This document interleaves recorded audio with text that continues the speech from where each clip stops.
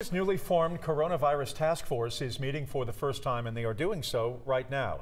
Its 18 members include some of Georgia's top leaders, like the airport general manager, the state school superintendent, the commissioner for the Department of Public Health, all there. So they're all meeting with the goal to make sure Georgia is ready to respond fast if cases are confirmed here. Critics say the proposed budget cuts could make the response more difficult. 11Alive's Deborah Tuff is at the state capitol. Deb, you have reaction from both sides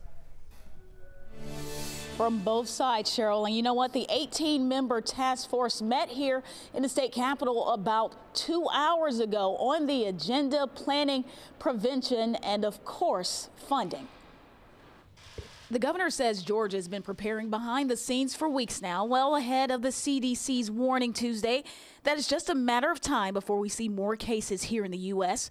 Right now, there are no confirmed cases here in Georgia, but the state's been monitoring potentially at risk travelers going through Hartsfield Jackson since January. Still, some Democratic state lawmakers say Georgia should have been forming a more in depth response sooner. Well, I think we definitely could be a lot more prepared. They've also voiced concerns that proposed budget cuts could impact Georgia's efforts to contain the virus.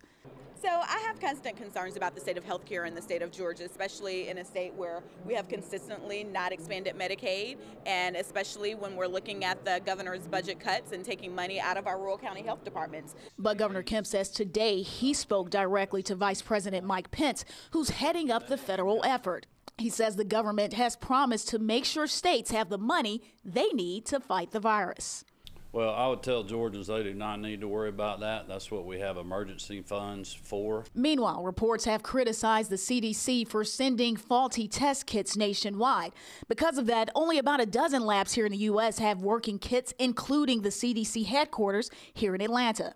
Department of Public Health Commissioner and Coronavirus Task Force Chair Dr. Kathleen Toomey says that's affected Georgia's ability to get rapid test results back because they have to send them to the CDC lab. I will say that it has affected our ability to get rapid tests back. But Georgia expects to be able to do its own testing within the next two weeks. 10 people have been tested here in Georgia, but the results have all been negative. Now, Dr. Toomey says you can also help the response by getting a flu shot. No, it won't help combat coronavirus, but it'll help keep folks with the flu out of the hospital. So in case coronavirus comes here, doctors have the rooms, have the beds, have the hospitals to help those patients. Deborah, thanks a lot.